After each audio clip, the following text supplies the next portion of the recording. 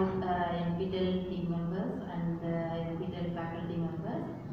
And through this opportunity, I would like to thank all the members of NPTEL, uh, NPTEL courses. And uh, through this, through this video presentation, I would like to give some few words about the, that is according the feedback of our, uh, of this NPTEL courses.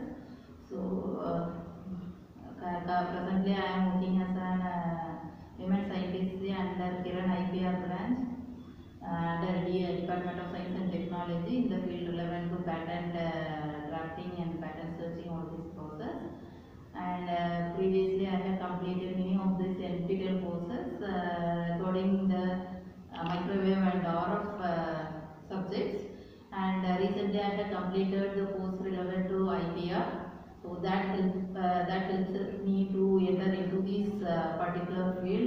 my site is given IPR uh, section.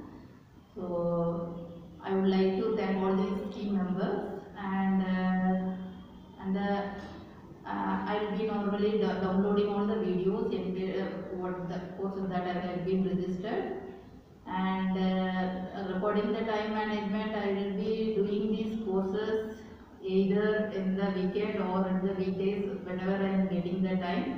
So I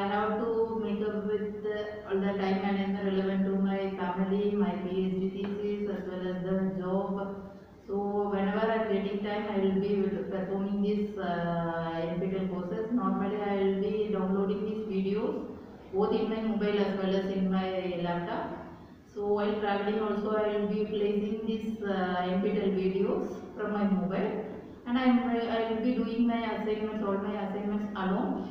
So uh, when, when after this uh, training in uh, IPR, so now I would like to have the courses other than the RF and microwave as well as the IPR courses since for uh, patent uh, searching and all this process the other courses would also be helpful for me. So the main advantage I feel to be in these NPTEL courses is that the courses are said to be of free registration. So uh, apart from my uh, core subject, I can able to take the other subject also.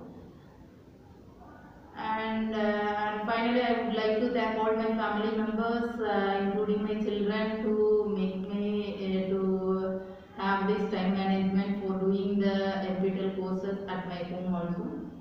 Thank you.